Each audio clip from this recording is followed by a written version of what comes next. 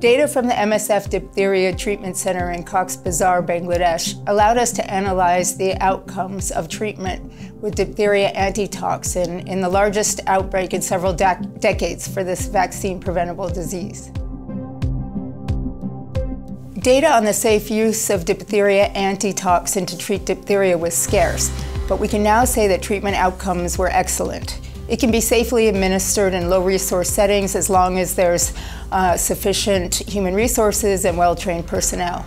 We're now updating the clinical guidelines with our findings.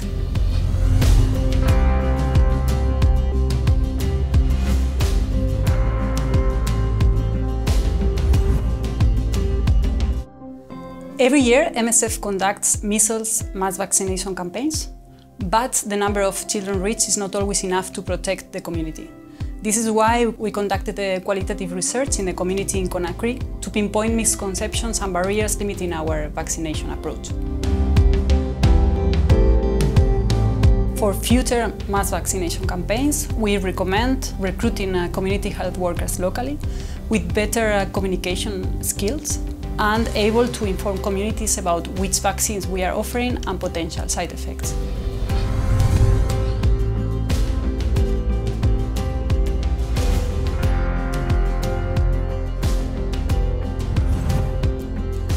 In the Center for Victims of Torture in Athens, we conducted a series of interviews exploring how asylum seekers and refugees who are survivors of torture, how they perceive trauma and how their cultural background and their social conditions affect their rehabilitation.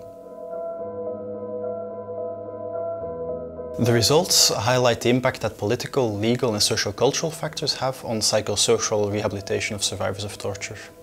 What we need is more holistic care that considers aspects such as delays in the asylum process, for instance, uh, and that moves away from a singular focus on specific diagnoses.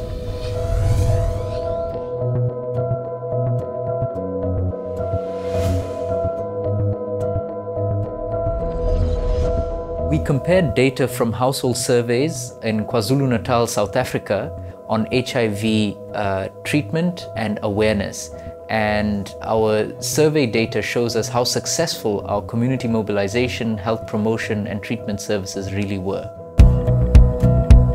As a result of our project, we helped contribute to increasing the awareness of HIV status and increasing the number of people adhering to treatment in the area covered by our project.